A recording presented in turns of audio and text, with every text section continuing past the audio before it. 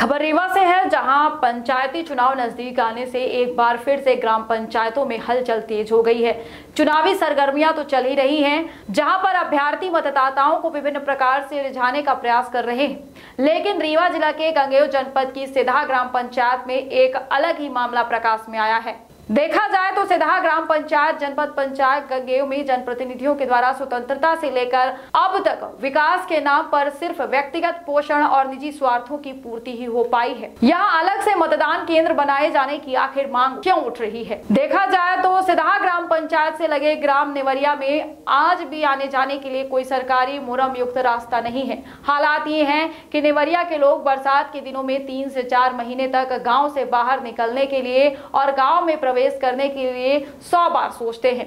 राजनीतिक रसूख के चलते कुछ सरपंच प्रत्याशियों ने पहले से निर्धारित सिदाहा ग्राम के पोलिंग स्टेशन क्रमांक संतानवे को बदलकर निवरिया में करा दिया। बताया गया कि उस रसूख वाले प्रत्याशी के वोट निवरिया में ज़्यादा थे, इसलिए निवरिया के लोगों को विशेष सुविधा देने के उद्देश्य से ये किया गया। लेकिन जहाँ निवरिया के लोगों को सुविधा तो मिल गई तो वही सिदाहा और भवरिया के लोगों के लिए मुसीबतें खड़ी हो गई। इस मामले की शिकायत मौखिक तौर पर पटवारी तहसीलदार, थाना प्रभारी, स्थानीय सचिव और सभी को ग्रामीण कराते रहे, लेकिन किसी की सुनवाई नहीं हुई।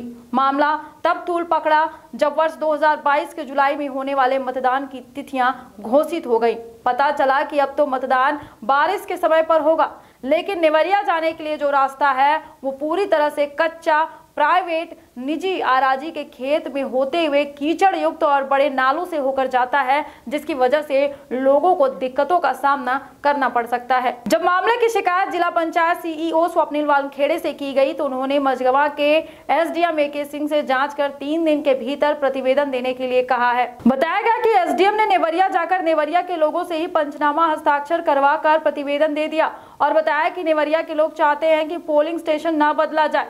पर सवाल ये था कि शिकायत तो सिदहा और भमरिया के लोगों के द्वारा की गई थी और उन्होंने पोलिंग स्टेशन बदलने की मांग की थी, ना कि नेवरिया के लोगों ने। सिदहा और भवरिया के ग्रामीणों का कहना है कि पोलिंग स्टेशन सुलभता को देखते हुए ये सिदहा में किया जाए और लोहरा और नेवरिया के लोगों के लिए नेवरिया में यथावत रखा जाए। सिदहा ग्राम पंचायत में नेवरिया ग्राम से पोलिंग स्टेशन सिदहा और भमरिया के लिए अलग किए जाने की जो मांग उठी है, उसमें सिदहा और भमरिया के कुल मतदाताओं में पचासी फ़ीसदी से अधिक हरिजन और आदिवासी मतदाता हैं। जबकि सिदहा और भमरिया में कुल मतदाताओं की संख्या 409 है तो वहीं नेवरिया गाँव के अधिकतर मतदाता सामान्य वर्ग के हैं और उनकी संख्या तीन सौ तिहत्तर है। इसी प्रकार यहाँ के लोगों का मानना है कि उन्हें अनायास ही प्रशासन कीचड़ और नाले में बरसात में मरने के लिए न छोड़े। और लोकतंत्र में जनता के अधिकारों और उनके मानवाधिकारों की सुरक्षा के लिए साथ में बुज़ुर्ग महिलाओं एवं दिव्यांगों को देखते हुए सुलभता की दृष्टि से सिदहा में अलग से मतदान केंद्र बनाया जाए। सिदहा और भमरिया के जिन मतदाताओं ने पोलिंग स्टेशन नेवरिया से बदलकर सिदहा के किए जाने की मांग की है उनमें पूर्व सरपंच राजमणि सिंह के साथ कई ग्रामीण भी शामिल हैं। आपका नाम क्या है? मानवती। कहाँ वोट डालने जाते हैं? निवरिया। इस साल बरसात में बोटिंग हो रही है तो क्या होगा? आप जाएँगे वहाँ पर? वह रही तो कहाँ जा पाओ हम तो ऐसे लंगर बने हैं तो हम वहाँ कीचड़ में जा पाओ कीचड़ क्यों होता है? वहाँ पे कीचड़ है। कीचड़? है। नाला। नाला है वहाँ पर। हाँ, नेवरिया जाते समय नाला और कीचड़ कच्चा मार्ग है। हाँ, इसलिए नहीं जा पाएँगे। नहीं जा पाए तो कहाँ पोलिंग स्टेशन चाहते हैं? चुनाव मतदान केंद्र कहाँ चाहते हैं? कहाँ हो जाए? हो जाए चाहिए कई सिधा में। सिधा में। पहले संतान नए पोलिंग क्रमांक हुआ करता था ना? हाँ, हाँ, मैंने पोलिंग सदा पोलिंग के संबंध में एक शिकायत दर्ज कराई थी। एसडीओ रेवन्यू मंजमा आए थे। और शिकायत सुनने उनको सदहा आने चाहिए। शिकायत का जो मकसद था, वो ये था कि सदहा वालों को वोट डालने में निवरिया सुविधा हो रही है, नहीं हो रही है। इस पर विचार करके उनको पोलिंग का निश्चितकरण करना चाहिए था। तो वो सदहा ना आके नेवरिया चले गए और नेवरिया से जो भी अंचनामा पंचनामा बनवा लिए हों, भगवान जाने और वहीं से लौट गए। यहाँ हमारे पटवारी हमारे बैठे थे वो गिरीश गौतम और बाकी पब्लिक खड़ी की खड़ी रह गई।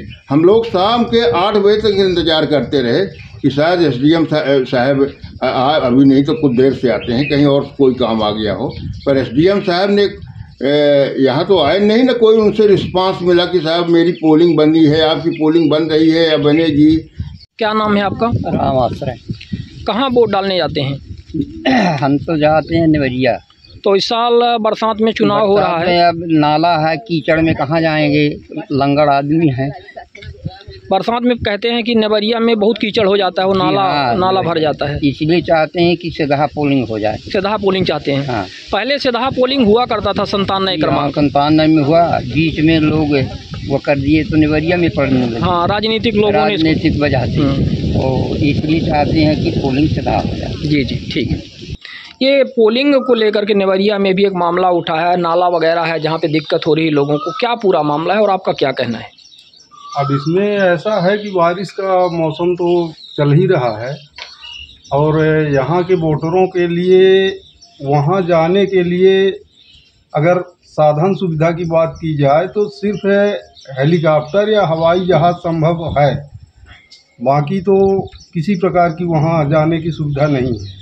तो सरकार से आप मांग करते हो कि यहाँ पर हेलीकॉप्टर की व्यवस्था कर दे। हाँ अगर ये है कि ये लोग इलेक्शन में शामिल हों वोट डालें तो करें व्यवस्था। अन्यथा कैसे जा सकते हैं लोग? तो कुल मिला के आप ये चाहते हैं कि सिधा और भमरिया के लिए पोलिंग स्टेशन सिधा में बनाया जाए। जी जी जी। और नेवरिया और लोहरा के लिए नेवरिया में बनाया नेवरिया जाए। नेवरिया। ताकि उन लोगों को इधर आने में दिक्कत ना हो और आप लोगों को उधर उधर जाने में दिक्कत ना हो। ठीक।